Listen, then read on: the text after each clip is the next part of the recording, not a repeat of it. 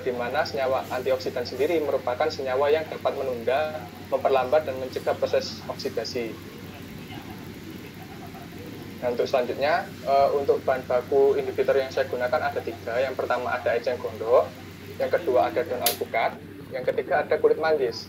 Uh, kenapa saya menggunakan ketiga bahan baku ini? Dikarenakan terdapat kandungan tanin di dalam ketiga bahan baku tersebut.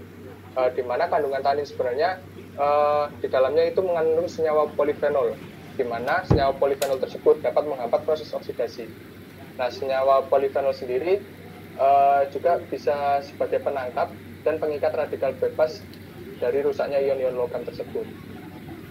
Nah, dari sumber informasi yang telah saya dapatkan, di mana untuk kandungan taninnya sendiri, e, menurut penelitian Rorong dan Suryanto 2010, menyebutkan bahwa kandungan tanin dalam eceng gondok sebesar 2,53 mg per 100 gram ekstrak. Sedangkan untuk kandungan tanin daun alpukat menurut penelitian Arum IDKK tahun 2012 yang ini sebesar 0,68 mg per 100 gram ekstrak untuk kulit manggis sebesar 25 28,05 mg per 100 gram ekstrak.